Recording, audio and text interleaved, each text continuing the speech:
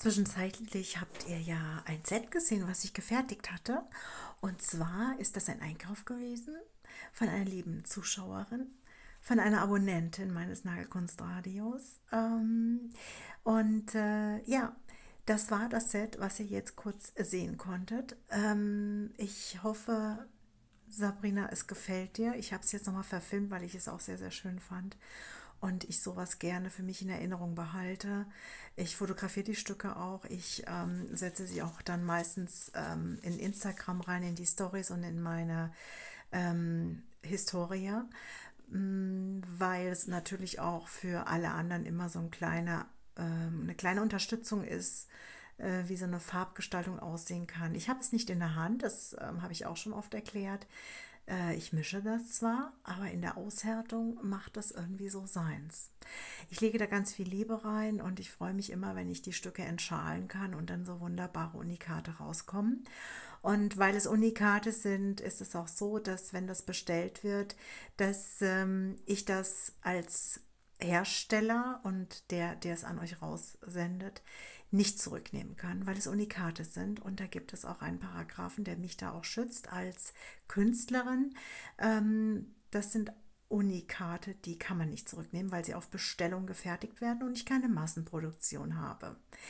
Und man sieht auch den Unterschied zwischen einer Mischplatte von Fernost zu denen, die ich gieße. Und natürlich auch die Tipphalter nicht zu vergessen. Ja, also Wer interessiert ist, der schreibt mich per E-Mail bitte an. Am besten ist es immer per E-Mail. Ihr seht am Ende des Videos immer meine E-Mail-Adresse, manchmal auch vorneweg und auf alle Fälle unten in der Infobox. Dann könnt ihr anfordern die Produkt- und Preisliste und ähm, Beispielfoto hänge ich meistens auch mit dran von den Stücken, die ich schon gegossen habe. Und ähm, ja, ich ich berate euch gerne, wenn ihr euch unsicher seid. Und ansonsten heißt es dann aussuchen, sich Gedanken über Farben machen und Glitzer und mich wieder kontaktieren. Und dann gibt es eine Auf Auftragsbestätigung meinerseits. Und das Ganze wird dann noch erklärt, wie der Ablauf ist. Und dann gieße ich eure Stücke. Ja. Die liebe Sabrina hat sich nicht nur Stücke von mir gießen lassen, Nagelzubehör für ihren Nageltisch. Ich wünsche dir an der Stelle alles, alles Liebe und Gute und ganz, ganz viel Erfolg. Wenn ich das richtig verstanden habe, hast du dir ein Studio eingerichtet. Hm. Sollte das professionell sein, sollte es so sein, dass du jetzt mit Kunden eine schöne Zeit am Tisch verbringst, ihnen ihre Herzenswünsche erfüllen kannst, dann wünsche ich dir dabei ganz, ganz viel Erfolg Durchhaltevermögen am Anfang, ganz, ganz wichtig. Durchhalten und seinen Weg gehen. An der Stelle, liebe Sabrina, von meiner Seite her schon mal alles, alles Gute. Ich habe einen großen Respekt vor den Menschen, die sich das heutzutage noch getrauen. Das muss man auch sagen. Du getraust dich immer wieder bei mir reinzuschalten. Und du hältst mich aus, du gehst mit, du feierst meinen Kanal und deswegen bist du auch gewillt, natürlich eine Fantasse an deinem Tisch zu haben. Was heißt gewillt? Das hört sich jetzt ein bisschen blöd an, das ist ein bisschen Upper Class. Du möchtest einfach mit uns Brüsterchen machen. Fans vom Nagelkunstradio, der enge Kreis, der immer wieder zusammenkommt und ja, mich einfach nebenbei düdeln lässt zur Unterhaltung, zur Inspiration, zum Lachen, zum Weinen, manchmal auch zum Toben, ne? Ähm, die holen sich die Tasse. Ja, ich unterschreibe hier mit ganz, ganz viel Freude, dass du mit dazu gehörst, liebe Sabrina. Hier ist deine Tasse mit dem Andrea drauf. Mhm. Tata in Silber mit der Herzchen. Lass uns kurz abdampfen. Ich freue mich wie ein Schnitzel mit Panade und Jägersoße. Und die Pommes noch dazu, auch wenn ich es im Moment nicht essen darf. Hm, es fliegt gerade an mir vorbei. Ich freue mich. Ich freue mich sehr. Das heißt, wir brüstern uns demnächst zu, imaginär, hier wieder bei mir am Nageltisch und bei dir. Man kann das auch in der Küche trinken und mir zuhören oder zuschauen. Ich weiß es nicht, wo es immer. Es, Moment, es gibt eine Abonnentin, die hört mich auch gerne bei der Hausarbeit. Ja. ähm, also ich mich jetzt selber nicht, aber ich habe auch bei meiner Hausarbeit hier und da solche Ladies laufen, die mich einfach ähm, ja dazu an, ja, anstimmen, meine Hausarbeit mit mehr Liebe und Hingabe zu machen und mich da auch motivieren. Solche Videos schaue ich auch gerne. Ja, hier ist dein Tässchen. Ich packe das jetzt alles wunderbar ein, so dass es heile bei dir ankommt. Und ähm, ich würde mich freuen, wenn es bei dir angekommen ist, dass du mich per E-Mail einfach mal kurz anschreibst, ja Andrea, ist alles gut angekommen, Dankeschön. Das beruhigt mich immer, weil mit den Tassen und Post und gut, das geht hier mit den blauen Engeln raus. Darf mir das eigentlich noch sagen, blaue Engel? Also Hermes, gell? Ähm, und ich hoffe, dass es heile bei dir ankommt. Also bisher habe ich meine Tassen, ich hatte bisher nur eine Tasse, die zu Bruch gegangen ist. Eine einzige. Und ähm, das tut mir dann in der Seele weh. Ähm, aber ähm, das ist halt manchmal so, wenn die Post einen Elefanten draufsetzt. Ähm, deswegen verschicke ich mit den blauen Engeln. Da ist bisher immer alles heil angekommen. Das mit der Tasse ist mir bei der Post passiert. Ihr wisst, ich habe da so ein bisschen mein Problem mit der Post, gell? Jetzt sind auch wieder ein paar Rechnungen einfach nicht reingekommen. Flattert plötzlich eine Mahnung ins Haus. Da könnte ich gerade schon wieder im Strahle kotzen. Da ruft man da an, ja, oh, Sie sind auch nicht der einzige Kunde, der sich da im Moment äh, drüber aufregt, dass die Post nicht ankommt. Ja, die Werbung, die kann ja von mir aus irgendwo landen. Muss ja nicht bei mir landen, aber solche wichtigen Sachen sollten schon zeitnah hier ankommen. Ähm, das war's. Vielen Dank, liebe Sabrina. Das war eine Riesenbestellung. Schauen wir mal, was es heute noch gibt. Ja, wir bleiben in unserer Mitte. Was bleibt mir anderes zu sagen?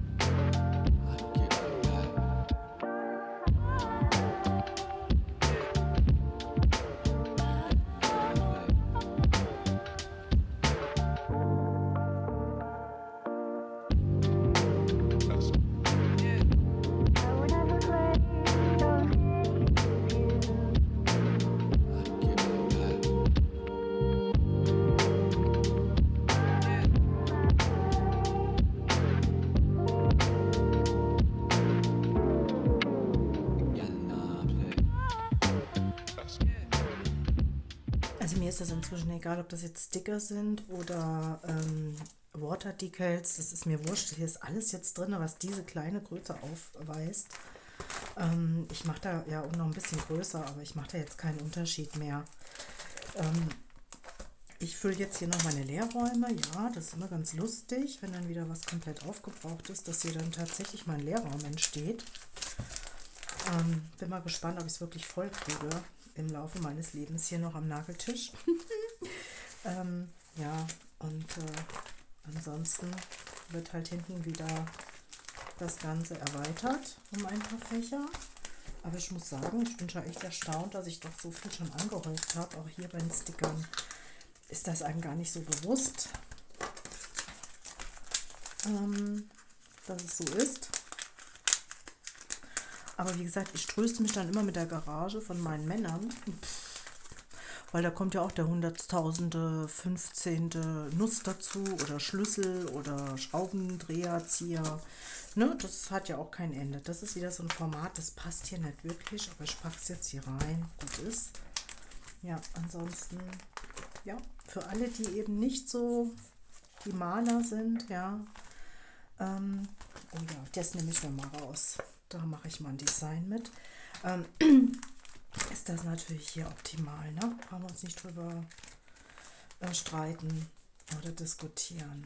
Es ist halt auch die schnellste Nailart ähm, auf diesem Planeten, äh, weil es einfach ist. Einfach drauf und fertig, gut versiegelt und ähm, damit ist das Ganze ruckzuck fertiggestellt, was auch immer ihr da möchtet, was euch auch immer gefällt. Ich habe tatsächlich auch einen Pelikan hier dabei. Sommernägel mit Pelikan. Oh ja, das könnte man auch mal machen. Das Sommer, also mal richtig Sommernägel hier. Das sind aber jetzt diese Wasserdinger, diese Wassertattoos. Ähm, kann man sich übrigens auch selber herstellen, gell? hier. Ähm, alles möglich. Wenn ihr einen Computer habt, einen Drucker habt und ein Bildbearbeitungsprogramm, ähm, könnt ihr euch sowas auch selber herstellen. Das ist halt viel Arbeit. Also da muss man wirklich leidenschaftlich sein und brennen. Dann kann man sowas machen. Ich lasse die dreimal draußen. Da mache ich mal ein schönes Press-on-Set. Ähm, ja, und für alle, die Press-on-Liebhaber sind, lasst euch bitte nicht beirren von denen, die meinen, sie wären hier die besten Modellierer und Nageldesigner und äh, es wird irgendwie so, so abgetan. Ne? Oh ja, wer nichts kann, der macht Press-ons. Nee, Leute, selbst eine Lüni hat jetzt die Dualtipps als Schulung veröffentlicht, ja. Ähm, da könnte man ja auch sagen, ja, das ist was für die, die es nicht können, gell? Aber nein, sie ist auf diese neue Art der Modellage aufgesprungen und hat da eben entsprechende Schulung rausgehauen. Ähm, und äh, ja, was soll das, ne? Also jedem die Technik, die ihm gefällt und ich, das ist das, was ich immer wieder mal so anmarkert, dass es dann immer wieder ähm, so Menschen gibt, die so von sich überzeugt sind, ja, kann ja sein, aber man muss doch dann die Mitmenschen, die auch Nageldesign feiern, aber eine andere Technik benutzen, doch nicht angreifen. Das ist doch nicht fair, oder? Es soll jeder sich so die Nägel machen, wie er es für sich am besten hinbekommt. Alles andere ist Übung. Natürlich ist schon wichtig, dass man weiß, wie der Nagel aufgebaut ist, anatomisch und auch von der Statik her, dass man weiß, wo eigentlich dieser Stresspunkt sitzt, die Sollbruchstelle. Das ähm, will ich gar nicht abreden, aber man muss nicht die Menschen irgendwie oder die, die, die Hobby machen, da irgendwie in der Schublade stecken. Du, du kannst das nicht, weil du es nicht machst. Das finde ich schade. Da möchte ich jetzt mal wieder für alle, die Nageldesign erst anfangen, die Lanze brechen. Hey Leute, macht euch nicht verrückt. Macht das, was ihr am besten für euch umsetzen könnt und was für euch das beste Ergebnis ist. Un ungehindert, ungehört und ungesehen von denen, die sich als Profi bezeichnen. Ja. Herzchen raus, lasst euch nicht entmutigen, alle, die erst am Anfang sind. Wenn ihr Fragen habt, schreibt mich per E-Mail an. Ich glaube, alle, alle können im O-Ton ähm, von mir behaupten, sie antwortet.